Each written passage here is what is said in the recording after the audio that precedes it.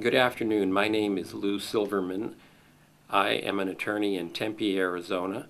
The name of my law firm is Silverman Law Offices. I've been practicing law for about 30 years. For many of those years, I was in litigation. What I learned about being a litigation attorney is that I would like to help people avoid litigation. As an estate planning attorney, my desire is to create plans for my clients that work to provide seamlessness and to help people stay out of the courtroom.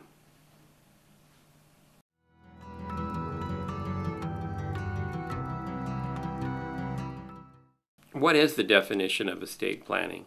Well, it's very simple. The definition of estate planning is to give to whom I want, when I want, and at the same time pass along my wisdom. Today I'm going to discuss foundational estate planning.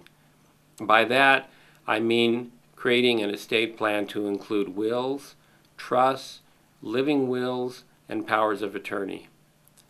Beyond the scope of foundational estate planning are such other topics as charitable planning, retirement planning, and other subjects which we're not going to be covering today.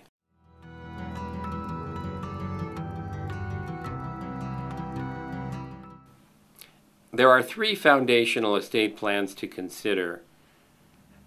The first that I'm going to mention is doing nothing at all, which is, by the way, what most people do nothing.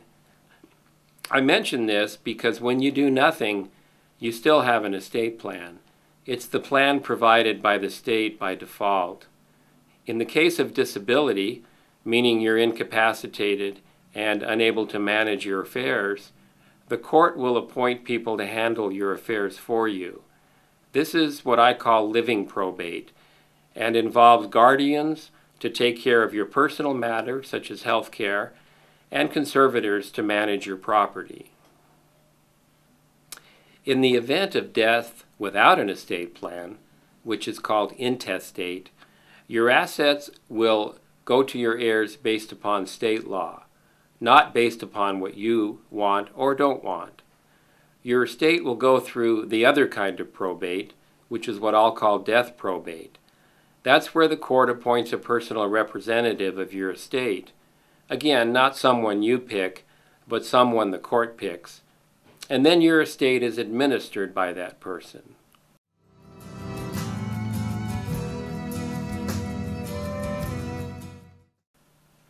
Now we'll move to the second type of estate plan, since we all agree that doing nothing is not good. The second plan is a will-based plan, along with powers of attorney for finance and health and a living will. The powers of attorney allow you to appoint the people who you choose to decide your health care decisions if you are unable to make those decisions, and to take care of your property and finances as well. This alone avoids living probate. The last will and testament designates who handles your estate upon death, called a personal representative. Again, this is someone you choose, not someone up to the court. And of course, in a will, you designate who gets your property on death. You may also appoint guardians to have custody of your minor children.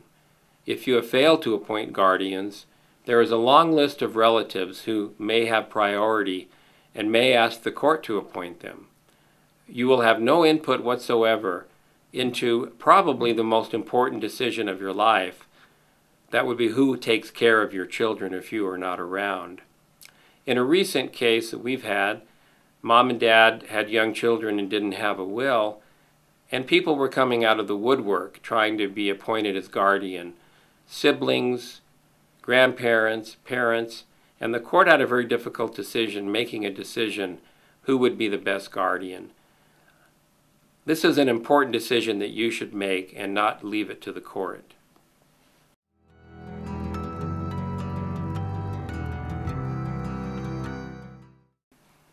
The biggest disadvantage of a will-based plan is that your estate will still have to go through probate. And most of my clients prefer to avoid probate. So, how do we avoid probate?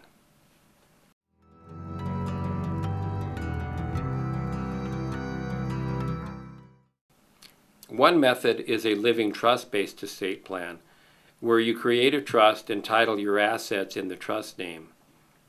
I will come back to this in a moment. For those who don't want a trust or a trust is not in their budget, there are tools to create a plan to pass assets and death without probate other than a trust. I will review a few of those tools and discuss some of the advantages and disadvantages of them as well.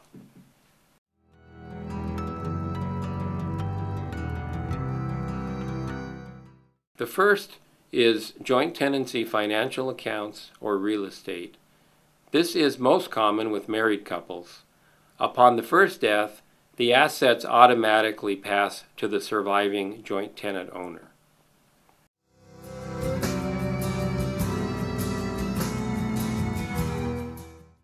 The second is pay on death accounts, known as POD. These assets pass to a named beneficiary or beneficiaries. The most common examples are life insurance, annuities, and some bank or investment accounts.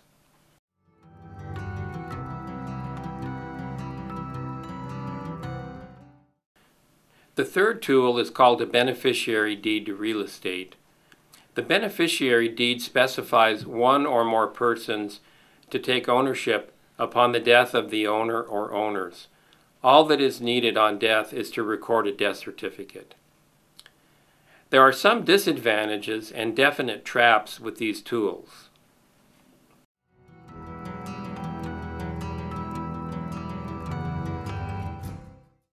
With joint accounts, I often see a parent creating a joint account with children. By doing so, the parent is exposing his assets to the creditors of his children. The second problem is if a parent creates this account with one of several children, relying on the trusted child to pay his bills and then share with his or her siblings. Too many times, I've seen that the child claimed that mom or dad wanted him to have these funds and not sharing them with the siblings.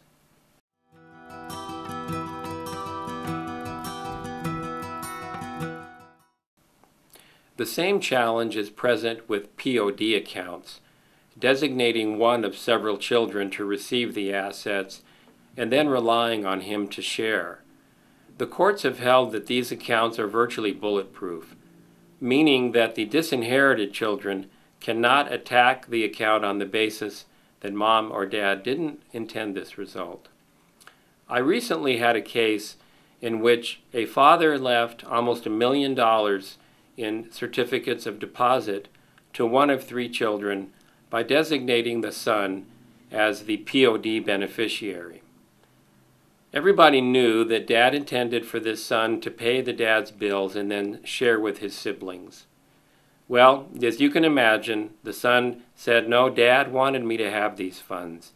After a protracted court battle, the court very begrudgingly said that they couldn't do anything because the accounts, as I said, are bulletproof and the son got to keep this money.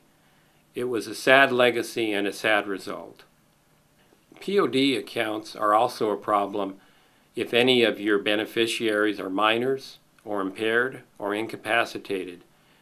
You are creating a whole other set of problems by leaving assets to these individuals which is going to require yet another form of probate, which is the living probate or the conservatorship, to have somebody handle these assets of the minors or the incapacitated persons.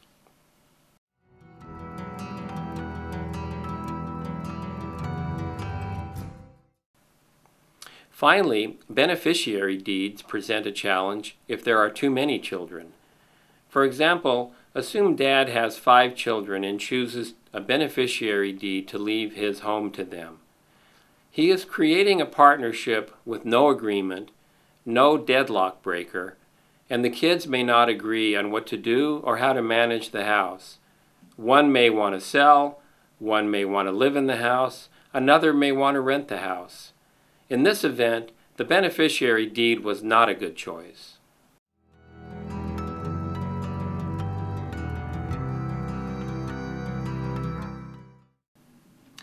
The final foundational plan that I'll discuss is considered the Cadillac of estate plans It's a living trust-based plan. A living trust-based plan avoids probate on both disability on death. It involves creating a trust agreement, usually called a living or irrevocable trust. This works for both single people and married couples. The living trust appoints a trustee to manage assets. Most people who create a trust appoint themselves as trustee, so you'll have full control over your assets as long as you are able to manage them. If you become incapacitated, the trust appoints a successor to manage your assets for you and take care of your assets, all done privately and seamlessly.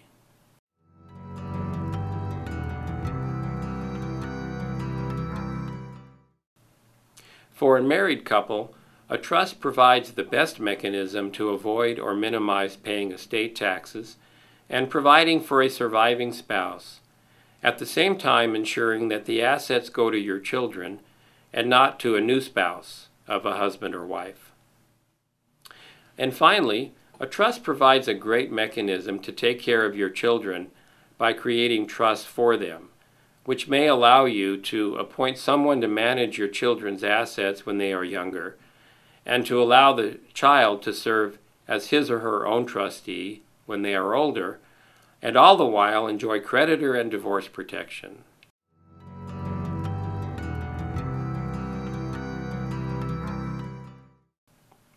One caveat about trusts is that in order to benefit from the trust, your assets need to be titled in the trust name or beneficiary designations to assets such as life insurance need to be coordinated to fund the trust upon a death.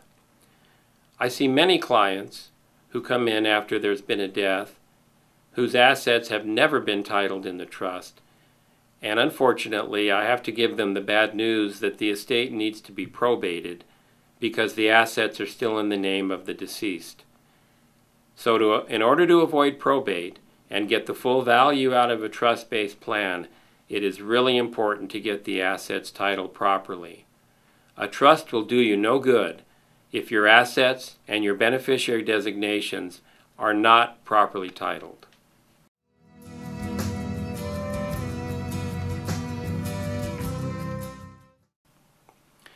I'd like to thank you for taking the time to watch this video, and I invite you to contact my office to schedule an appointment at no charge to discuss which forms of foundational estate planning might work for you and your family. Thank you again.